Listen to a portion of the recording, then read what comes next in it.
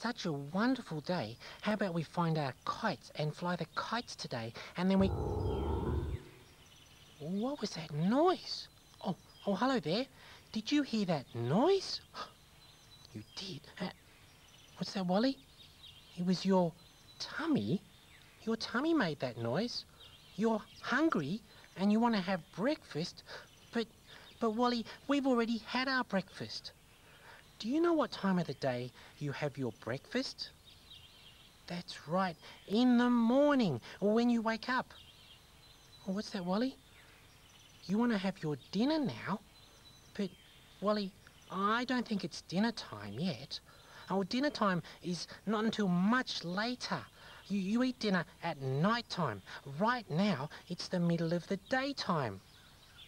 What's that? You, you still want to eat something even though you've had your breakfast and it's too early for dinner? Hmm.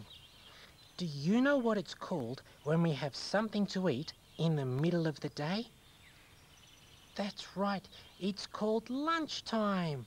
Oh boy, I think, Wally, you are right. It is lunchtime. Oh, I'm hungry too, Wally. Oh, what do you like to have for lunch? Wow, that sounds yummy. Well, thanks for reminding me about lunchtime, Wally. Let's go and have something to eat. Or maybe, maybe a sandwich. Or sandwich.